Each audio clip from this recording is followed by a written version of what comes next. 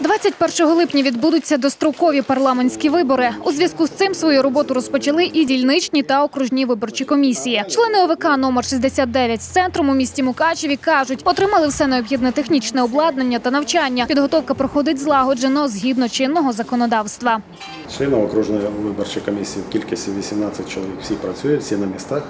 Єдина тимчасова незручність, яка нас турбує на сьогоднішній день.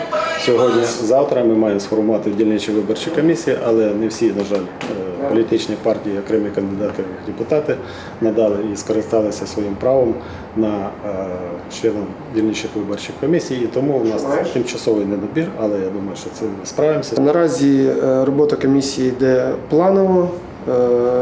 Весь штат комісії укомплектований. Е, Всі потрібні речі робляться досить вчасно, кваліфіковано. Я би навіть сказав так гарно. Сергій Алюхін додає, попри злагоджену роботу, зіштовхнулися з нестачею членів виборчих дільниць у Бергівському районі. Тож всіх, хто бажає взяти участь у роботі окружних виборчих комісій, просить звернутися до ОВК номер 69, яка розташована в приміщенні Мукачівської районної адміністрації. Хочеться звернутися більш до угорськомовного населення. Е, До нашого округу входить е, частина Берівського району. Є недоукомплект на дільницях.